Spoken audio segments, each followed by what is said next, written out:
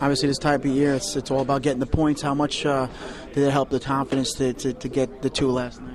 Yeah, it was a good feeling for sure. Um, you know, we've been fighting through some games here. Haven't been playing total, totally the way we want to, but uh, we thought we put forth a good effort in Chicago and, and let one get away from us in the third period, where we really try and take pride in, in closing out games. So it was good to, you know, be on the other end and, and, and come back in good fashion.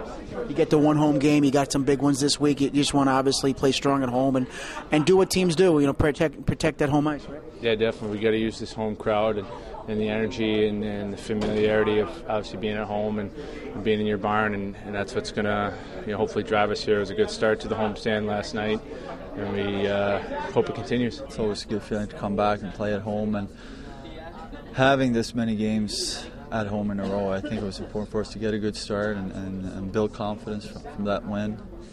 Uh, I think we played really well.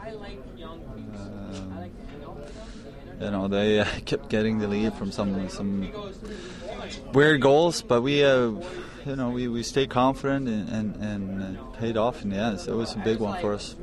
It's about the points right now, and obviously Carolina coming up. No time to, to be looking ahead uh, to any other games, right? Yeah, we got to focus on tomorrow night, and uh, you know they're a team that plays fast, and they've been playing well uh, lately, and uh, they're a dangerous hockey club when uh, you know when they're forechecking, and, and you know we got to make sure that we're sharp in our end zone, and um, you know try to get another win.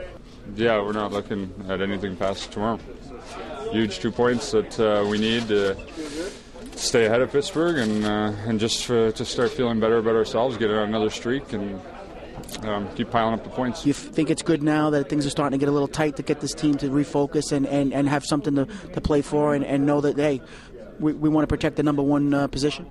Yeah, I, I think uh, it's good for the group and for the team to go through stretches where things are a little tougher. You know, you can't expect things to be easy all the time. And, and um, if you would ask me before the season if we would be leading the Eastern Conference with five points or whatever it is, with 15 games to go. I don't know if I would believe you, but um, you know, it's it's a good test for us. Uh, last game was great. Uh, the way we battled back three times and managed to get two points shows a lot of character.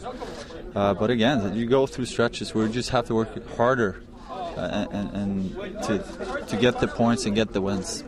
Yeah, it's going to be a, it's going to be a battle right right down the wire and uh, we want to grab as many points as we can uh, and then uh, bank them and see where it falls.